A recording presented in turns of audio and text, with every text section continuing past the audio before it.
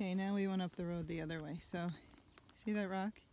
He was scared of it at the rock, so he was snorting and just turning his head side to side.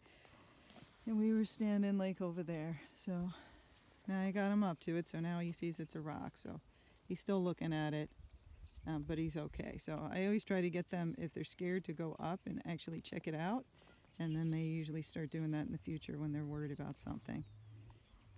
So I'm going to stand here just until he's calm and doesn't care anymore, and then we'll move off. Okay, now we're on the real trail. I just have to see how slippery it is, if he's okay. But so far so good. All by ourselves.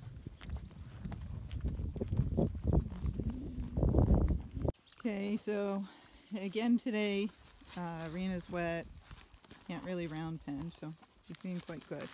Um, so we came out on the trail and we're kind of at the fork, which you'll get to see in time. That one goes down to the river.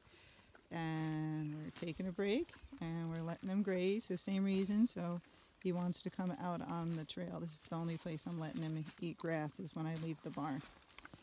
But so far he is being very good, just looking around. But otherwise being good out here by himself. Okay, now we're heading back. That's him.